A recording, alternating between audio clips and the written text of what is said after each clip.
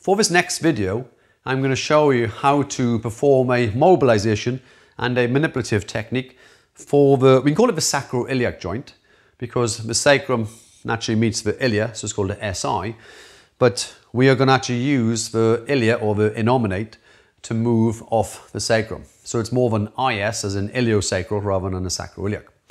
So the way we can do this one, the patient sideline and as low on the couch as you can possibly get. And what we're going to do, the top leg, I'm going to put the foot in the crease of the knee here and bring it up.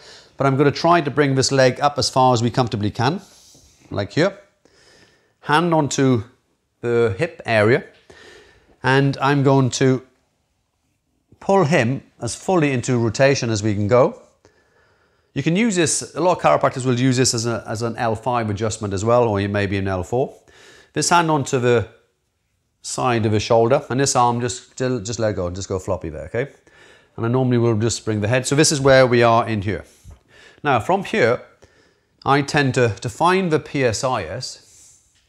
My hand is going to come over onto the PSIS, okay?